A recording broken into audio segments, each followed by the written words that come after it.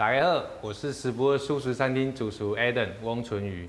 那今天呢，要带来什么料理？今天带来一个非常简单的料理，就是风干番茄司康。那可以看到我们桌面上的材料其实很少，所以我们只需要现场看到的四样食材就可以做好，很方便，你在家里简单做就可以了。那这一次我把它改的轻化版，热量少了一点，那健康多了一点。好，我们就准备开始制作了。它有一个重点就是，呃，我们主要的风味来源在于黑橄榄跟风干番茄。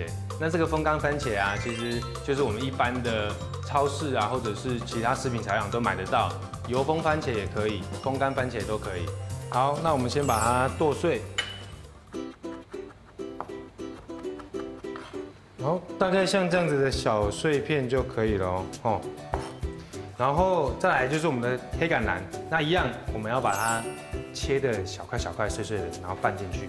好，那我们今天这一道料理啊，我们切的东西就完成了，非常的简单。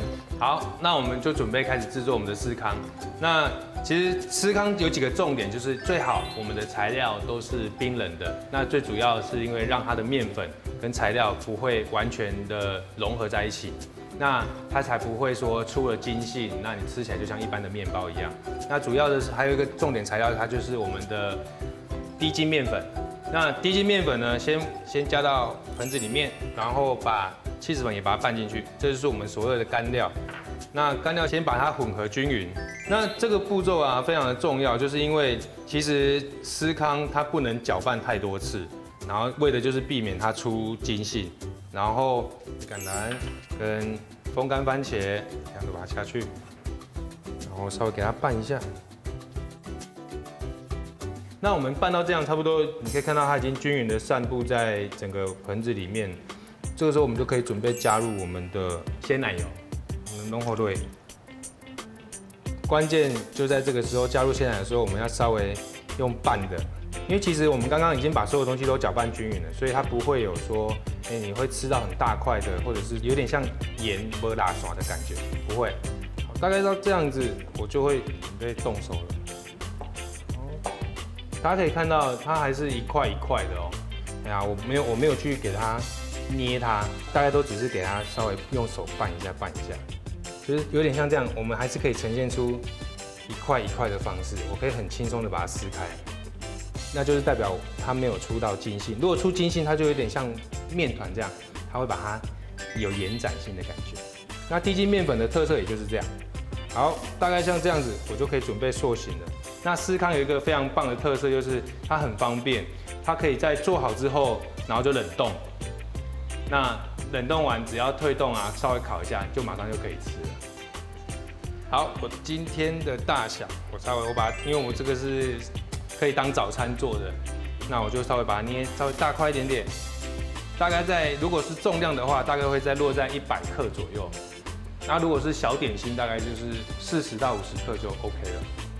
基本上在捏它的时候，我不会去，我不会把它捏到扁掉，捏到扁掉它很容易就会有出筋性的问题。所以可以看到，其实我的表面是很粗糙的。好，那我们基本上就完成了。那我们就可以准备把我们塑形好的司康送进去烤箱里面喽。那我们把烤箱设定好在一百八十度之后，就可以把它放进去。好，那我们在等待我们的司康的烤熟的同时呢，我们先来切一下它的一个呃增添它清香的配料，就是巴西里。那如果说今天在家里，嗯，因为一般比较少碰到巴西里，也可以直接，也可以直接用葱，其实葱也可以，嗯。好，那我们把它稍微切细小的碎。好，那我们的司康也差不多要好喽，来。在这边其实已经闻到很浓郁的气死的味道，OK，然后我们可以把它拿出来看一下，像这样子，基本上它的外表已经有点金黄色，然后都已经没有面团的深色的时候，其实它应该就基本上就已经是完成的。然后呢，我们现在先准备好我们的盘子，今天就是一个简单的下午茶，所以我们取两块小块的，然后我们的酸奶呢。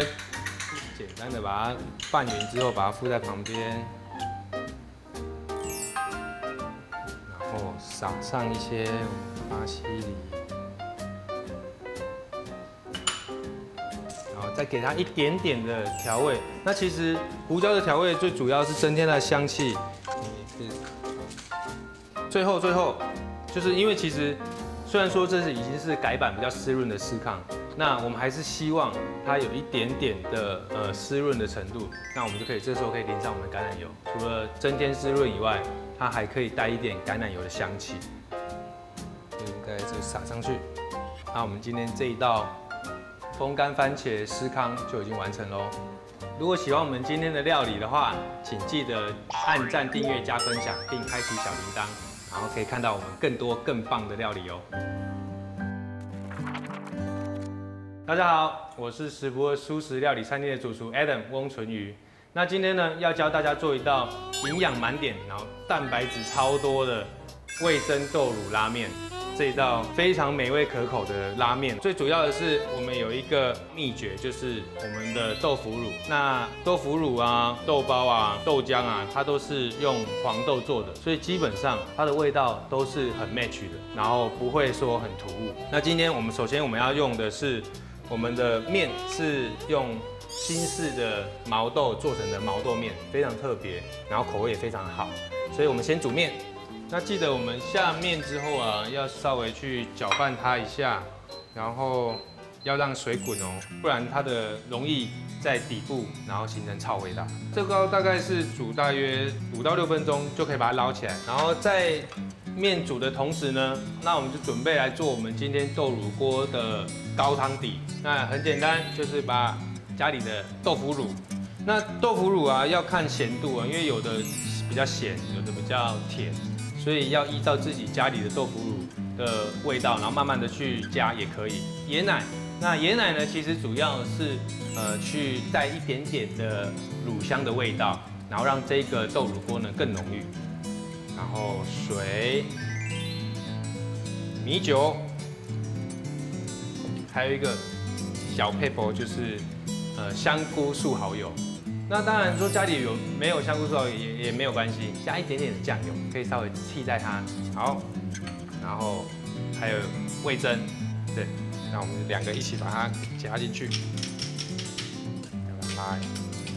好，那接下来就是很简单的步骤，就是把它搅拌均匀。那记得哦，一定要在入锅之前就要先搅拌均匀哦，不然它待待会啊，我们的料下去啊，东西下去的时候。整锅就会变得很难很难拌。好，大概这样子，没有颗粒就可以了。好，那我们的高汤就完成喽。那别忘记还有我们的月桂叶。好，然后我们开小火，让它慢慢煮滚。这个这一道汤很棒的地方就是，它只要煮滚呢，开小火慢慢把它煮滚，其实它的汤头就已经非常浓。哦，那我们的面也好了，我们就准备把它捞起来。那我们会稍微过个水，然后让它冰镇一下。那待会面就会比较 Q 弹。那如果家里有冰块，建议可以放一些冰块进去，然后让它可以更冰镇。因为我们的高汤也还在煮嘛，那我们现在用刚刚煮面剩的水，然后我们来烫一下今天的青菜，就是我们的菠菜。好，然后记得水要大滚哦。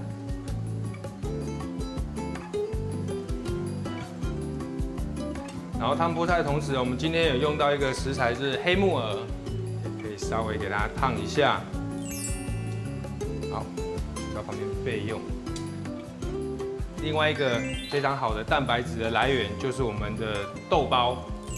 那菠菜大概烫啊，大概一分钟左右就可以起锅了。好，然后回到我们的砧板这边，等它凉一下，我们可以先切我们另外一个食材黑木耳。那黑木耳啊，你在家里也可以不用，但是我自己习惯就是拉面嘛，就是长条状的，所以我们把木耳也切成长条状，然后一起入口比较好入口。再把我们的菠菜稍微给它整理一下，然后把我们不能吃的根部给切掉。那接下来就是取我们要的长短就好了，大约一小指的长度，一样放到盘子上备用。那我们的豆乳锅也煮滚了之后呢，我们就可以把我们的豆浆，然后给它倒进去。然后豆浆呢，其实就等我们的高汤煮滚了，东西都混在一起的时候，最后再下我们的豆浆。那主要是因为豆浆比较容易结块。那一样等它煮滚的时候，这个汤底就完成喽。然后呢，现在就来开始准备摆盘喽。先把刚刚我们过好冰水的面，那可以看到，其实它过好冰水之后，它都不会粘在一起，所以我们在盛面的时候非常的方便。这个时候就先把我们的豆包给捞起来。那这个时候约个月记得不要下下去哦，把它捞到旁边来，然后慢慢的倒入我们的高汤。然后别忘记我们这边的配料，先放上我们的菠菜，然后木耳、玉米。像这些蔬菜啊，上面的蔬菜其实就可以依照自己的喜好，然后去做加的减的量，或者是说自己想要吃的东西。然后最后再加一点芝麻。那拉面不能少的就是我们的海苔，那我们就给它放在旁边。好，那我们今天这一道味噌豆乳拉面就完成喽。它非常的适合在这个春季啊，就是季节交换，有一点点凉凉的天气吃，非常的适合。它口感很浓郁，然后它的豆味啊，非常的香浓，所以很适合在春天吃这一道暖心的料理。那特别推荐给您，谢谢。